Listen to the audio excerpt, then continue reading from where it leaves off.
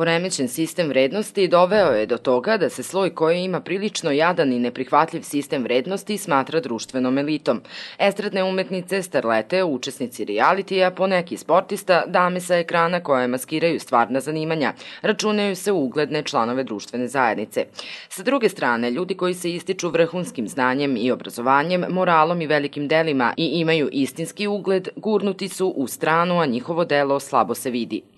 Plaćamo danak činjenici da je ono što je nekada smatrano kvalitetom, ono čemu smo mi vaspitavani i čemu smo vaspitavali našu decu, sada je anahrono i loše, a ono što je nekada smatrano neprihvatljivim, sada je dobro i poželjno, kažu stručnjaci, dok istoričari ističu da društvo koje nema istinske demokratije nema ni istinsku elitu. Imamo državne analitičare i stručnjake za sva pitanja. Oni su predstavnici vladajućeg sloja, a oni koji se ne slažu sa državnom politikom marginalizovani su. Intelektualci su na marginama i istinske elite na javnoj sceni nema.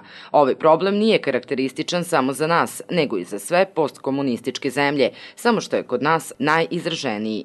Ko u Srbiji po vama predstavlja društvenu elitu? U Srbiji, društvenu elitu, Srbije pravoslavci. Nikolić.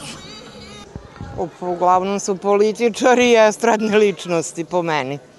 Pa ne znam, oni elitu sami između sebe izaberu. Političari. A Nikolić?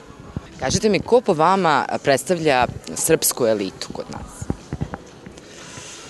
Pa, nažalost, mi sada nemamo srpske elite. Niko ne beležava. Ovo, ako mislite na političare, Ima tu par ljudi koji su elitni, poput Koste Čavoškog, Vasilija Krestića i to, ali Branka Dragaša, ali njih vi nigde ne vidite. Da Srbija nije završila proces konstituisanja elite, smatraju i politikolozi. Da bismo imali istinsku društvenu elitu, ona mora da objedini tri oblika elite. Jedna je simbolička, u koju spadaju lekari, profesori, naučni radnici, intelektualci. Druga je ona koja ima društveni uticaj i tu spadaju političari, kao i globalističke nevladine organizacije.